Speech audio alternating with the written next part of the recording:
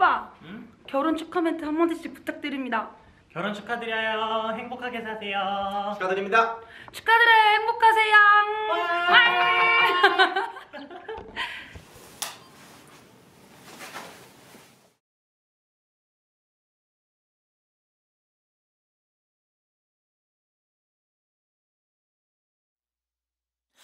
Now listen to me 너무 떨리는 이 순간.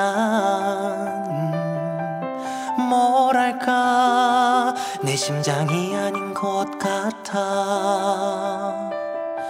널 처음 본 날 생긴 알수 없는 마음.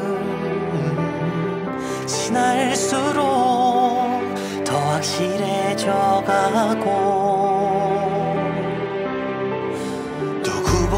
항상 의지하고 믿을 수 있는 내가 될게.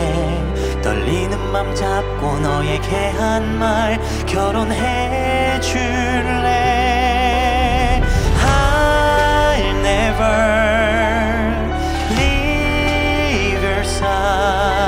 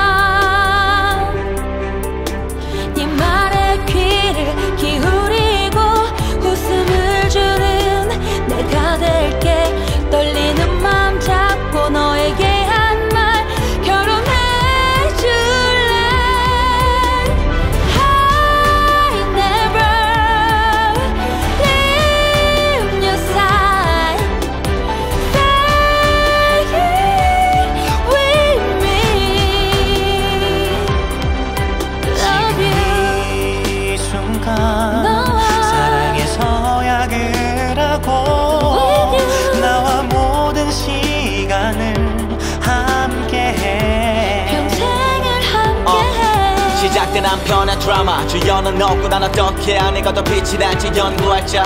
말했던가? 널 행복하게 하겠다는 건 난데 왜 내가 행복이라는 의문. 그대만 찾기 위해 결심하는 걸음. 앞으로 네가 만드는 가슴에 관대적 가문에 버려도 멋진 길을 걷기 그렇지. 너라는 길로. I never